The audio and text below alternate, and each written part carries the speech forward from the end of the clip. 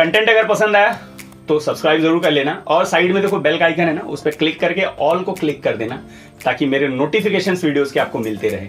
और इंस्टाग्राम पे भी आ सकते हो, कोई क्वेश्चन है, कोई क्वेरी है, आके पूछ लो इंस्टाग्राम पे, सबको आंसर मिलते हैं, आपको भी मिल जाएँगे। अच्छा जब से Redmi Note 10 सीरीज़ आई है ना, बहुत सारे लोगों ने बाय किया लिटरली बहुत सारे लोगों ने बाय किया स्मार्टफ़ोन अच्छे हैं। लेकिन बजट रेंज वाले स्मार्टफ़ोन बिना किसी प्रॉब्लम के आ जाए तो वो थोड़ा सा ये भी सारे प्रॉब्लम्स लेकर आया था। सबसे पहले डिस्प्ले वाले इश्यूज़ हुए थे और रिफ्रेश रेट वाला देन उसके बाद फिर मिल ही नहीं रहा था। उसके बाद मी यू आई ट्वेल्व के इश्यूज़ जो बग्स वाले हैं, और एड्स के इश्यूज़ सारे मिला जुला के बहुत सारी परेशानी में भी डाल दिया लोगों को रेडमी ने। रेडमी नोट 10 सीरीज़ से। अब लेकिन बहुत सारे लोग पूछ रहे थे कि रेडमी नोट 11 सीरीज़ कब आने वाली है। तो कल क्या हुआ ना, इसके कंसेप्ट रेंडर्स आ गए। देखने में काफ़ी सुंदर लग रहा है। लेट्स गो डिजिटल ने डाला था एंड काफ़ी ब्यूटीफुल लग रहा है। मुझे, मैंने पहली बार देखा तो मुझे लगा कि ये सैमसंग एस ट्वेंटी प्लस है ना, उससे बहुत ज़्यादा इंस्पायर्ड है।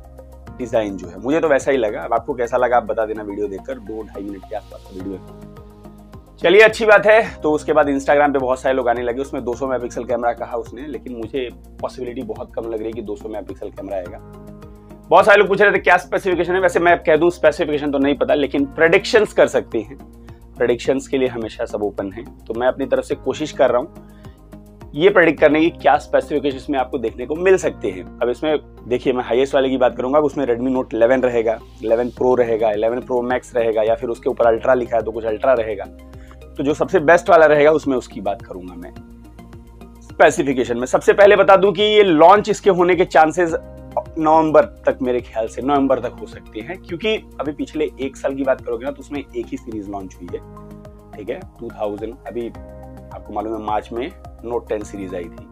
लेकिन 2020 की बात करोगे तो उसमें सिर्फ़ नोट 9 सीरीज़ ही आया था और कोई सीरीज़ नहीं आया था। क्यों? क्योंकि कोरोना का प्रॉब्लम था तो छह सात महीने, छह महीने तक तो कोई स्मार्टफ़ोन ज़्यादा लॉन्च भी नहीं हुए थे। लेकिन उसके पहले ना रेडमी साल में दो फ़ोन लॉन्च करता था, एक फेब मार्च के आसपास एक अक्टूबर, नवंबर के आसपास। तो आज इस साल भी मार्च में उन लोगों ने, जैसे नोट सेवन और नोट एट था ना दोनों 2019 में लॉन्च हुए थे। तो इस साल आपको मालूम है मार्च में लॉन्च हो गया है नोट टेन सीरीज़ तो कहा जा रहा है कि नवंबर, अक्टूबर, नवंबर तक पॉसिबली आपको नोट टेन सीरीज़ भी, नोट 11 सीरीज़ में बार बार कंफ्यूज हो रहा हूँ। नोट 11 सीरीज़ भी देखने को मिल सकती है। चलिए, अच्छी चीज़ है। प्राइसिंग वैसे नोट टेन प्रो की देखोगे तो सोलह हज़ार से छह जीबी चौसठ जीबी चालू होता है।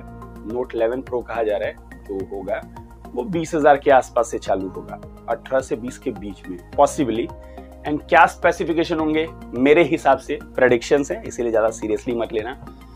मैं अपनी तरफ़ से कोशिश कर रहा हूँ कि क्या आ सकते हैं। सबसे पहली बात, अगर नोट नाइन सीरीज़ देखोगे नोट नाइन प्रो मैक्स उसमें आईपीएस का पैनल था और 4G चिपसेट था। नोट 10 प्रो की बात करोगे तो उसमें डिस्प्ले जो है आईपीएस से सुपर एमुलेट हो गया। लेकिन चिपसेट 4G था। नोट 11 प्रो की बात करोगे तो इसमें कहा जा रहा है कि आपको सुपर एमोलेड पैनल के साथ 5G चिपसेट देखने को मिलेगा। चलिए मतलब इसमें आपको 6.67 इंच का 120 ट्वेंटी वाला सुपर एमोलेड का पैनल कंटिन्यू रहेगा, उसमें कोई भी डिफरेंस नहीं रहेगा पंच होल के साथ। N H D R ten plus का support and gorilla glass five का प्रोडक्शन फ्रंट और ये दोनों साइड पे। लेकिन साइड माउंटेड फिंगरप्रिंट स्कैनर आएगा, जो कि वीडियो आया उसमें पता चल रहा है कि साइड माउंटेड फिंगरप्रिंट स्कैनर है। तो थोड़ी सी कॉस्ट कटिंग के लिए आपको यहाँ पे भी साइड माउंटेड फिंगरप्रिंट स्कैनर देखने को मिल सकता है। वैसे स्मार्टफ़ोन देखने में कमाल का दिखेगा। रियर साइड पर ट्रिपल कैमरा का सेटअप रहेगा। नीचे रेडमी 5G की ब्रांडिंग रहेगी। सारी चीज़ें दिख ही रही उसमें। यानी देखने में स्मार्टफ़ोन सच में अच्छा लगेगा। इसके बाद चिपसेट की बात करोगे तो वही मेन है इसमें डेमेंसिटी 900 का चिपसेट आएगा। डेमेंसिटी 900 5G चिपसेट है ऑक्टागोर का चिपसेट है। 7 एनएम पे बेस्ड है बैटरी एफिशिएंसी तगड़ी दे देता है। चार लाख के आसपास का स्कोर आ जाता है। Mali G seventy gaming graphics सारी संभाल लेगा कोई प्रॉब्लम नहीं आएगा। तो अच्छी चीज़ है एंड्रॉइड 11 के ऊपर ही पॉसिबली आएगा, लेकिन Mi U twelve point five के साथ आएगा, जो कि एड फ्री है। तो आपको एड नहीं आएँगे। अब देखते हैं कितना बग्स का इशू क्लियर किया उन लोगों ने, वो देखने वाली बात होगी। लेकिन इसमें एड्स नहीं आएँगे आपको, जो कि अच्छी चीज़ है। तो परफॉर्मेंस का सेगमेंट ठीक रहेगा, उसमें कोई इश्यूज़ नहीं आएँगे। कैमरा की बात करोगे रियर साइड पे 200 मेगापिक्सल कैमरा दिया, लेकिन मैं आपको क्लियरली चीज़ बता दूँ कि अभी तक कोई भी ऐसा चिपसेट आया नहीं है। कहा जा रहा है स्नैपड्रैगन 895 जो आएगा वो 200 मेगापिक्सल के कैमरा को सपोर्ट करेगा, लेकिन ऑब्वियसली 20000 के नीचे 895 नियरली इम्पॉसिबल होगा। वो दे नहीं पाएँगे, ठीक है? तो डेमेंसिटी 900 में तो सपोर्ट नहीं करता, जहाँ तक मैंने देखा है। 200 मेगापिक्सल तो नहीं आएगा, मेरे हिसाब से 108 मेगापिक्सल दे तो अच्छी चीज़ है। उसके साथ आपको आठ मेगापिक्सल का अल्ट्रा वाइड सेंसर और पाँच मेगापिक्सल का डेप्थ सेंसर या मैक्रो दोनों में से कोई एक रहेगा। क्योंकि रियर साइड पे ट्रिपल कैमरा का ही सेटअप है। फ्रंट में आओगे तो शाओमी का फेवरेट 20 मेगापिक्सल वाला। एफ़ टू पॉइंट ज़ीरो का अपाचर रहेगा, उसके साथ बुके पैनो मैच या सब कर लोगे। रियर साइड पे फ्लैश रहेगा फ्रंट में नहीं रहेगा। तो कैमराज के जो फीचर्स रहेंगे, वो ज़्यादा बेटर रहेंगे। वैसे रेडमी के कैमरास ज़्यादा अच्छे होते हैं एज कंपेयर टू किसी भी ब्रांड इस प्राइस रेंज में अंडर ट्वेंटी थाउज़ेंड की बात करोगे तो। मतलब कैमराज डिसेंट मिलने वाले हैं। फ़ोन को स्लिम रखा जाएगा, इसलिए बैटरी आपको पाँच हज़ार या उससे कम की मिलेगी। तो ज़्यादा वेट ना हो स्मार्टफ़ोन का इसकी वजह से। तो डिसेंट बैटरी रहेगी। आपको पॉसिबली लग रहा है मुझे इस बार under twenty thousand sixty seven watt वाला चार्जर देखने को मिल जाएगा। एंड उसके साथ साथ टाइप सी का पोर्ट रहेगा। तो बड़ी बैटरी फास्ट चार्जर और टाइप सी का पोर्ट तीनों चीज़ें आपको एक साथ देखने को इसमें मिल जाएँगी दोस्तों। देन उसके बाद बात करें तो सेंसर्स की। तो साइड माउंटेड मैंने कहा वीडियो में दिखाया गया कि साइड माउंटेड फिंगरप्रिंट स्कैनर होगा। Face unlock accelerometer ambient light sensor gyroscope proximity sensor compass 3.5 M jack IR blaster सारी चीज़ें मिल जाएँगी इश्यूज़ नहीं आएँगे। स्टीरियो स्पीकर्स भी हो सकता है एंड इसके साथ साथ IP52 की रेटिंग सारी चीज़ें आपको इसमें मिल सकती हैं।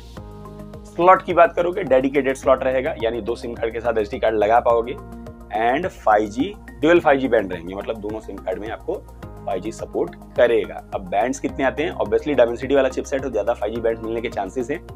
ये देखने वाली बात होगी कितना लेकर आती है।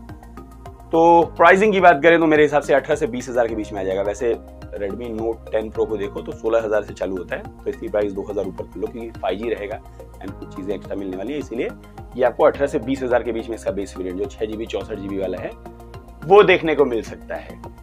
लेट्स सी वेट करते हैं। मेरे हिसाब से ये होने वाला है। आपको जैसे मैंने कहा, अक्टूबर या नवंबर में लॉन्च होता हुआ दिख सकता है इंडिया में। एंड पॉसिबली सितंबर अगस्त सितंबर से आपको लीक्स भी आने चालू हो जाएँगे इसके। एंड प्राइसिंग बीस हज़ार के नीचे होगी बेस वेरिएंट की।